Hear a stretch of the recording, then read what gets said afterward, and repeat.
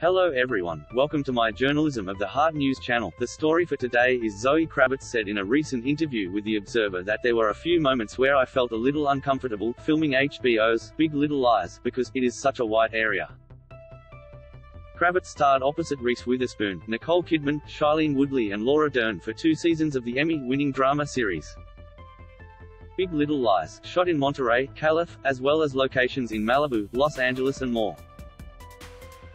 When asked to elaborate on why she felt uncomfortable at times filming Big Little Lies, Kravitz responded, because it is such a white area.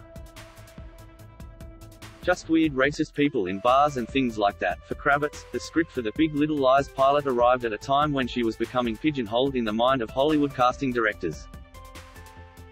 At one point, all the scripts that were being sent were about the first black woman to make a muffin or something, the actor said. Even though those stories are important to tell, I also want to open things up for myself as an artist.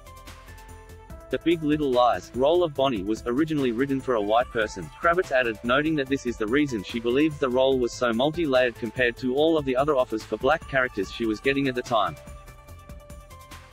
Big Little Lies aired for two seasons on HBO in 2017 and 2019. All of the main cast members have expressed interest in returning for a third season, but HBO has not yet announced plans for more episodes.